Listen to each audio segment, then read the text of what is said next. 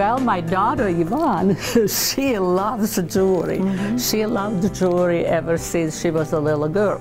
And uh, I was traveling all over the world, and I, uh, she had an opportunity to go with me. And everywhere we went, we bought some jewelry.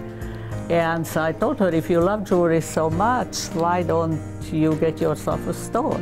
We have beads so that you can um, you can create your own jewelry, and then we also have a lot of pre-made um, items. So for Christmas, anybody could just come pick out something very unique, something you will not find anywhere else because we usually hand pick everything, like I said, by ourselves. We don't order anything online.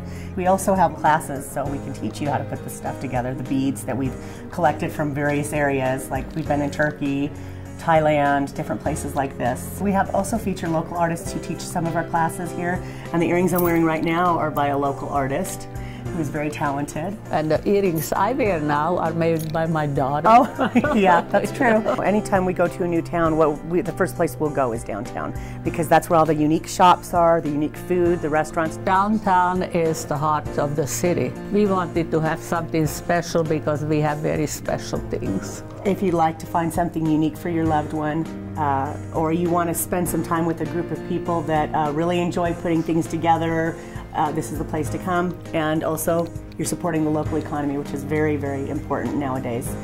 And uh, we're just fun gals down here, so come yeah. see us.